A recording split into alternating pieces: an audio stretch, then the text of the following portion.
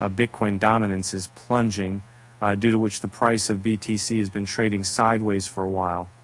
Uh, this has enabled the second largest token, Ethereum, to breach its crucial resistance and achieve new yearly highs above 3130. Although the token is facing some bearish heat, it is expected to maintain a healthy upswing throughout the week. In such a case, here are some altcoins listed by a popular analyst, Mile Deutscher, that may undergo a significant uh, upswing this week. And, And Uniswap displayed an iconic rally by printing a God candle of an 80% single day jump, which has lifted the token above the bearish influence. The fee switch proposal came out to be the news of the week as the decision on it is underway.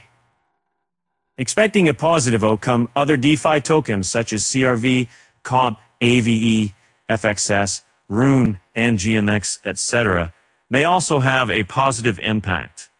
While the bears have capitulated on the token at the moment, a small rise in bullish strength may revamp the bullish strength throw. Here, The Blast Layer 2 is expected to go live this week, which may impact the Blur price as it is its native yield L2, which is going to be airdropped, and Blur stakers will receive tokens from the airdrop, which may be further integrated into the ecosystem.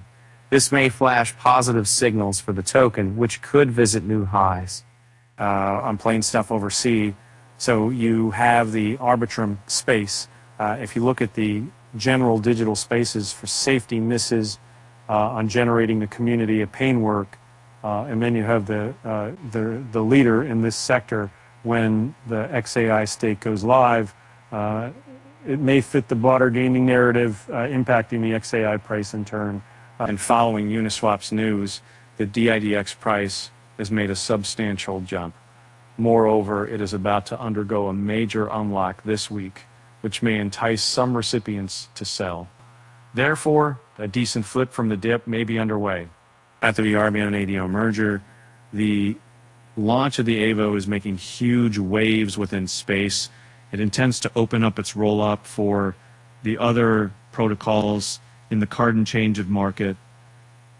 And in addition to the process of minimized research, is very, very market called token onslaught, uh, volume managers and cyclists.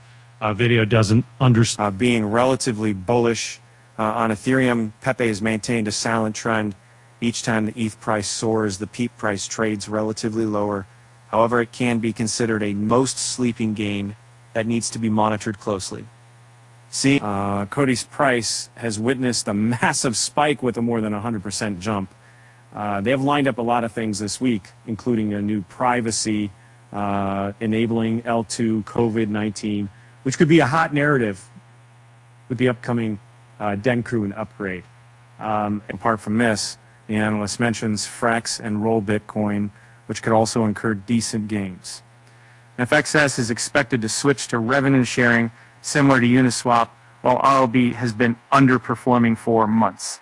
Hence, an explosive movement could be imperative. And Ethereum is expected to continue to exhibit strength, specifically against Bitcoin.